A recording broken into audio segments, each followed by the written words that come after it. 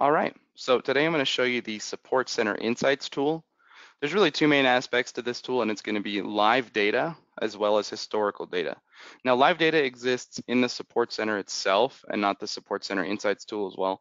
Um, so the Support Center Insights live data is really meant to be for a director or a manager, somebody who doesn't have any need to actually address calls, you know, answer calls or, or monitor or listen, but rather they just want to have an idea of the overall performance of the call center. So they can see on the supervisor dashboard here, um, it's going to be more like a 30,000 foot view. I can select specific queues I want to look at, and then I can see, you know, total number of agents, queue totals. So this would be for me to glance at and see, you know, how many people are on hold?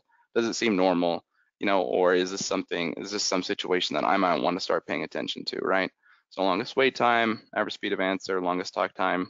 I can see agents in queue down here, and then I can see individual queues if I want to pay attention to, you know, tech support instead of customer service, whatever that might be. I can launch a wallboard from this screen. So I'll select launch wallboard. I can launch this in browser or I can Chromecast this to a TV. So Chromecast it to any TV in the office. You can send multiple to multiple TVs if you want to display different information for different departments. Um, I'll just launch this in browser to give you an idea. So it's a nice dark mode. Everyone loves dark mode nowadays. You know, your TV is going to love it. Obviously, it's going to save the life of your TV. It's easier to look at, but really it's the same information. It's just meant to kind of share an accountability for your contact center. Everyone can be aware of, you know, how many callers are on hold and, and uh, make sure that they're addressing these calls.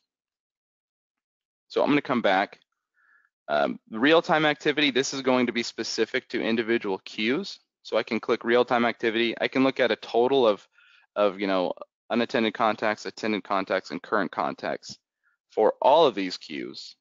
Or I can look at an individual queue. And likely this is what you'll want to do.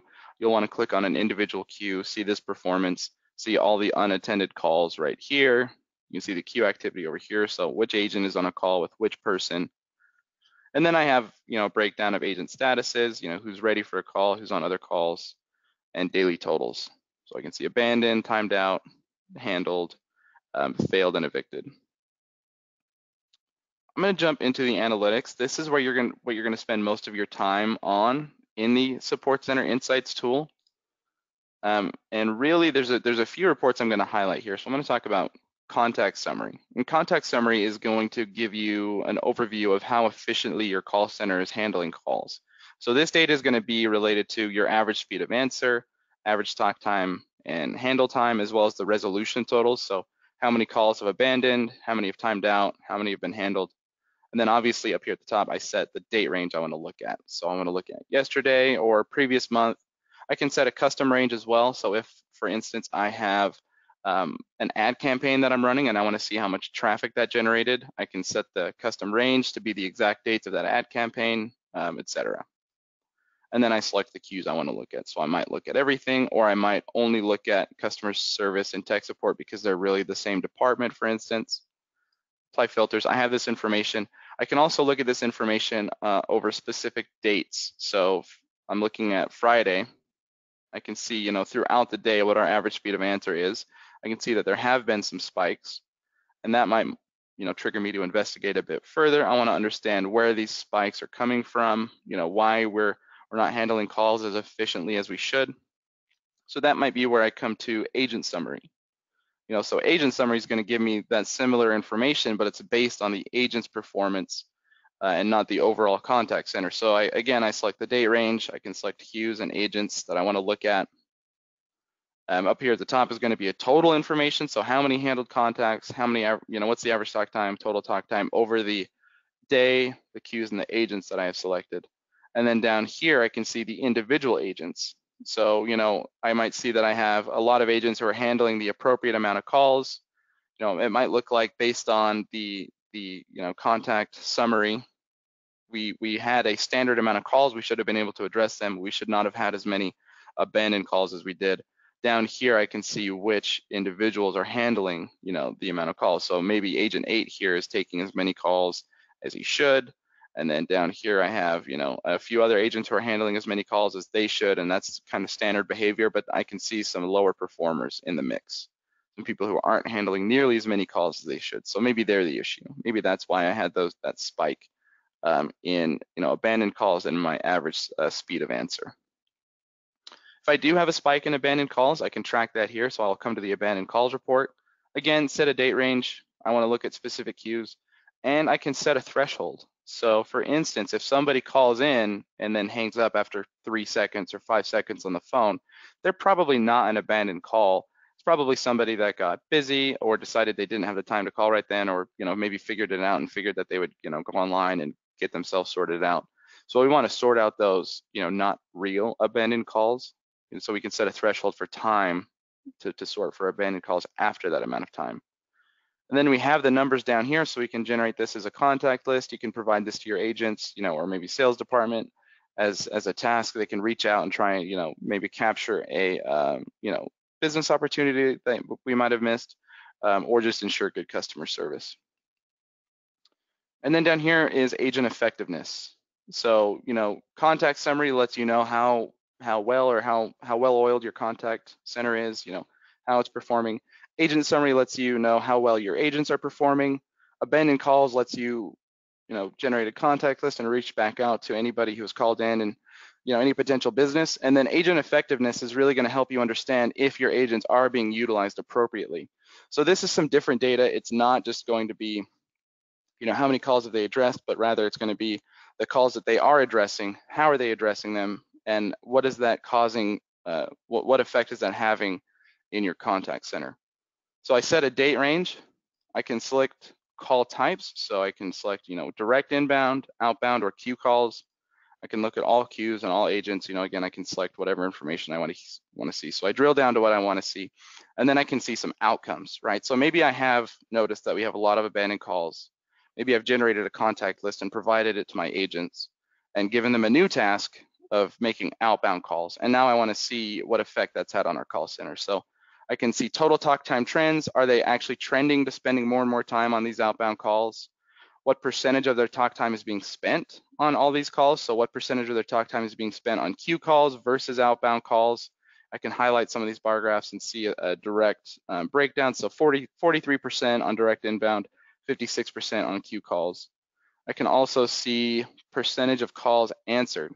So this might be where you say, you know, I can see that our percentage of talk time on queue calls is going up, but our percentage of queue calls being answered is actually decreasing. And queue calls are far more valuable than an outbound call. You know, if they if if they abandon, they might call us back. Uh, whereas if we miss their call too many times, it's it's uh, really costing us some money. So maybe that's a practice that I want to that I want to eliminate now. So this is this is going to be some outcome reporting that's going to help you make those determinations. Down here we have percentage of queue calls transferred by agent. Um, again, this is demonstration data I'm showing you. There's a server somewhere that's just generating this, so I don't have the, the best data to show you. It's not a real contact center. But this percentage of queue calls transferred by agent simply going to show you how many agents are transferring queue calls. And this is going to be helpful, for instance, in a tiered support environment. So if you have tier one support and tier two support, you can see how many of your tier one support agents are transferring calls uh, and that might indicate that they are not as trained or they don't understand how to address these calls entirely themselves. And so that might be where you want to begin training those agents so that they can address more calls and they have to transfer less to tier two. Availability and pause time by agent, this is extraordinarily useful. So really what this is going to do is show you uh, what percentage of the day your agents have been able to, to receive calls. So availability and pause time is determined by how long they're in the queue versus uh, how often they've paused. So I'll I'll explain this a bit further. If if I work a 10-hour shift and I am paused for two hours, you know, one hour of break, one hour of lunch, then I am available 80% of the time. So the way that I would recommend using this is figure out with your shifts and with your breaks and your lunches what the standard availability ratio should be for your agents. And then you can simply glance here and see if they're available for the appropriate amount of time, right? And this is going to be useful if you have fears or concerns with your agents breaching, uh, you know, state laws regarding employee hours. So you can see if they're too available, you know, hey, you got to take your breaks. You can't be 90% available. You can't be 85% available, whatever that might be, you know, or you're 50% available today. What's going on? Uh, so this is going to make it easy. You can simply glance at somebody and say, oh, you're 41% available. Let me see what's going on. I'm going to scroll down here to my agent availability report And this is going to display when somebody was in the queue and when they mark themselves uh, as paused. So again, I don't have the best examples to show you. This is a server that's generating this. So, uh, you know, your, your time map of when your employees are in the queue will look different, but everything that is a sort of a light shade is when they have been paused and everything that's a solid color is when they are ready for calls within the queue. So likely you would see something like down here, they mark themselves ready for calls at, you know, 8 a.m. And then they, there's a little shaded highlight section here for a break, and then another section for a pause, you know, another section for lunch, and then they, they leave and they, they punch out. So this will provide you with the ability to see why they were, you know, only available for a certain amount of time. Um, you know, and it's also going to help you make determinations such as, you know, do do my employees' lunches line up with our abandoned calls? For instance, are we staggering lunches? I can see I have too many agents on break at the same time. They think they can pause whenever, and that results in, you know, us not hitting our KPIs. All right, so that is the Support Center Insights tool. Thank you.